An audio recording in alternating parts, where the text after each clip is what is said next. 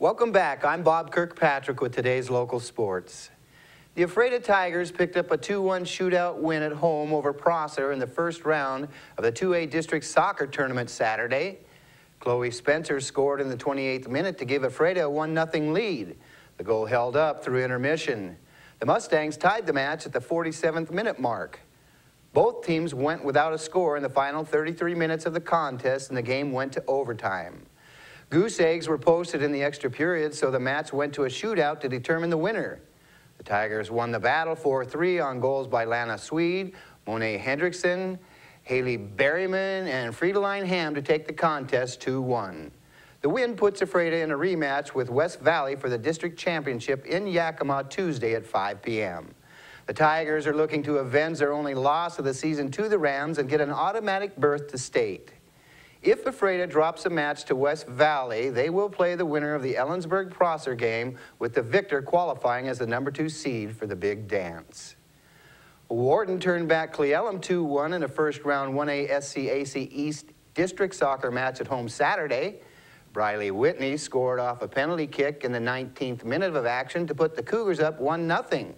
The score held up until Jennifer Mendoza blasted a shot past the Warrior keeper at the 63rd minute to increase Warden's lead to 2-0. Cle Elum avoided the shutout with a goal at the 79th minute mark. The win over Cle Elum sets up a semifinal showdown with LaSalle at Marquette Stadium Tuesday at 5.30 p.m.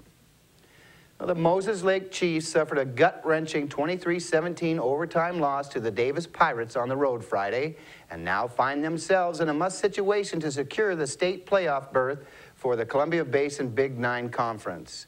Moses Lake led 17 to 10 with just under seven minutes to play in the game, but Davis tied at 17 all when quarterback Nikeo uh, Lazat connected up with Eric Briscoe for a six-yard TD with a minute 42 left on the clock. Chiefs had first possession in the overtime period. Facing a fourth and 13, Moses Lake opted to try and pick up a first down instead of attempting a chip shot field goal. Quarterback Easton Castro was sacked on the play and the ball went over to Davis. The Pirates picked up a first down at the Moses Lake 12 and two plays later, Santana Saez scored on a two-yard run to give the Pirates the come-from-behind win. The Chiefs could have locked up a berth to the state playoffs with a win over Davis, but now must beat Eastmont at home Friday to get in. iFiber One Sports will be broadcasting the Chiefs Wildcats game at 7 p.m. Friday. The Soap Lake Eagles dropped their last game of the regular season to Entiat at home Friday night.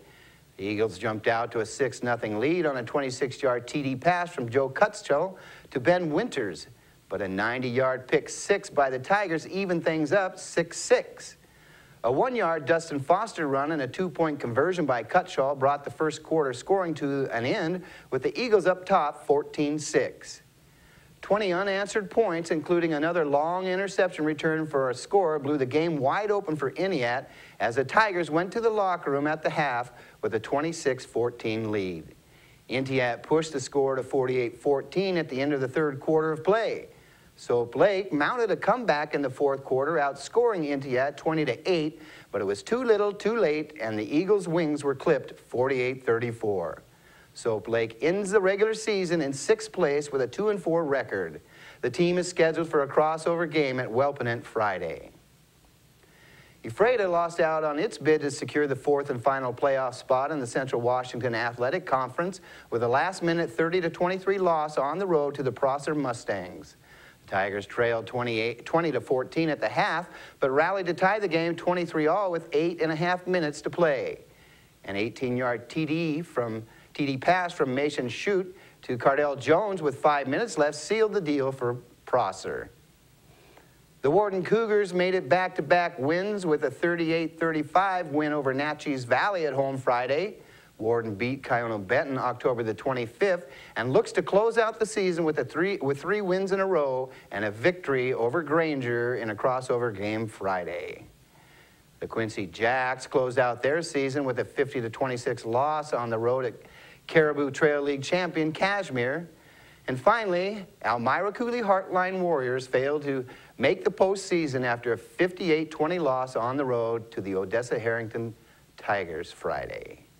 For a more in-depth look at the games, visit us online at www.ifiberone.com. Oh we'll be right back after this.